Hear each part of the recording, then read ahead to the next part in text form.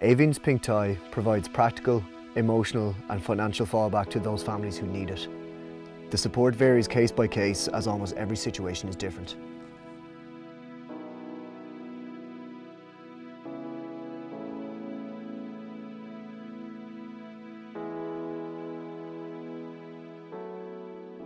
As a child, I have always been very sheltered to what was going on, as any child should be. My cousin was six years older than me and I wasn't even born when the illness first struck, and that's how young he was. He was living in Dublin initially, which made his trips up and down to Crumlin a lot easier. He wasn't long into remission when they moved to Kildare, full of hope that this would be the end, but it wasn't. The cancer had come back and this time bone marrow was needed. When he finally got the transplant, he was months in isolation, was spending 100% of his time in a hospital bed, with only the company of the doctors, the nurses and his dad. His final stint of cancer came at the age of 17. He was told that there was no hope and his family made his time left as enjoyable as possible. He loved the beach, music and every single one of his friends. He passed away within the year. His memory is as lively as he was with the festival Dilstock happening every November. Charities such as Aoibheann Pink Tie are essential to families in need.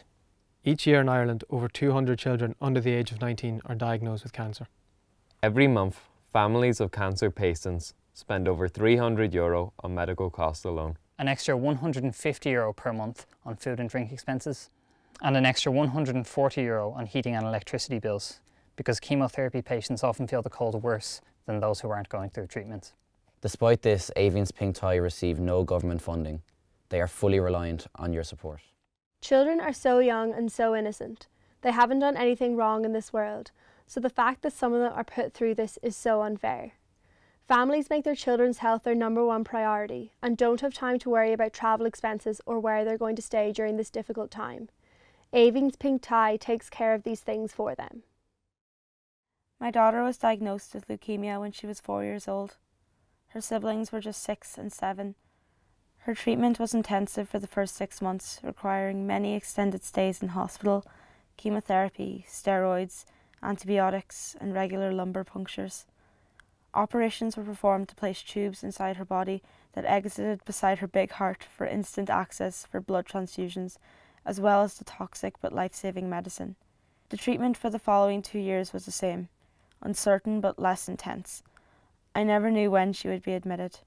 She could be fine and then rapidly get a temperature requiring a minimum five day hospital stay. This could happen at any time of the day or night. I always left a bag packed in a boot for her and myself. I also dropped her siblings off to friends in the middle of the night with their school bags and lunches when my husband was abroad for work. She liked staying in hospital once the worst of the sickness was over and would leave a note under the teacher's door if she came in during the night. I dreaded her being admitted as for me it was several days of no sleep guilt about the other kids, and hospital food. We were fortunate that I could stay at home with her, only getting back to part time work at the end of her treatment. Many parents work from a laptop at a hospital bed in the quiet of the night.